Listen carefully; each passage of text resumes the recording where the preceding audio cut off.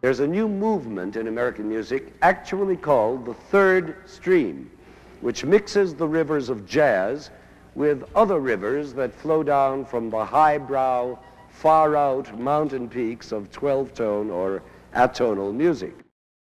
Third stream is a, term that I coined in the late 50s, which uh, was to describe the music that was coming in at that time, combining jazz and classical music, both the most advanced classical music and the most uh, advanced jazz techniques. And uh, Don certainly uh, fitted into that kind of uh, uh, an approach to music. So um, the program that I suggested uh, to Lenny, or part of it anyway, was a work of mine called Journey into Jazz, which was for um, narrator and uh, symphony orchestra, small orchestra, and uh, a five-piece jazz group. And the protagonist of the story is a trumpet player who starts out as a classical trumpet player, and during the course of the story, he develops into a major jazz musician. But the story is about the trials and tribulations of how he got from the classical, to, from rather rather square kind of playing, and uh, increasingly better as a jazz improviser.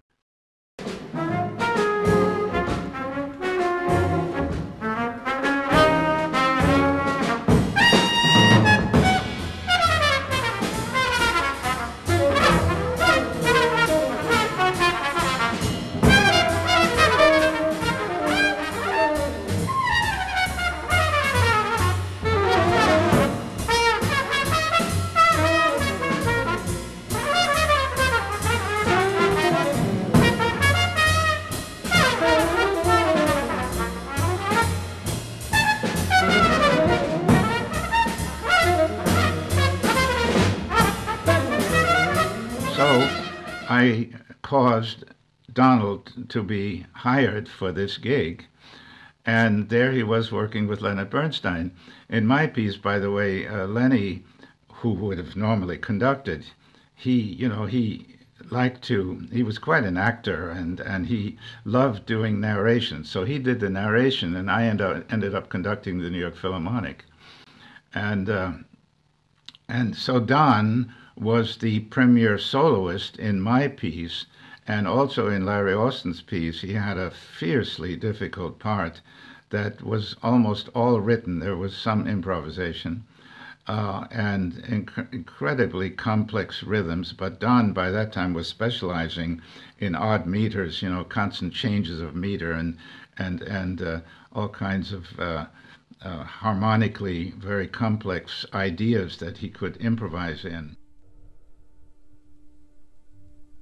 I was starting already in the mid 40s a composer who was working in very advanced harmonic styles, uh, what's called the atonal style, and in 12 tone technique, and all kinds of influences from Stravinsky and Schoenberg and other modernists of the early 20th century.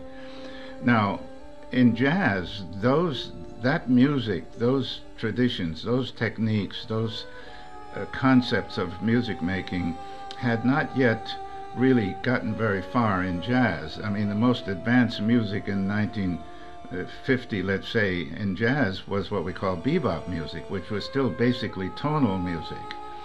But uh, here I was writing atonal music, highly chromatic music, and without key centers uh, in this sort of new language that the that Schoenberg and Berg and Webern and Stravinsky developed.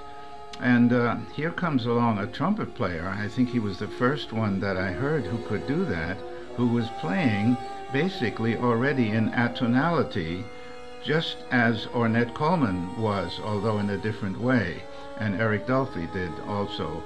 So, um, and I was always on the lookout for uh, um, new players, younger players who could play in my own music.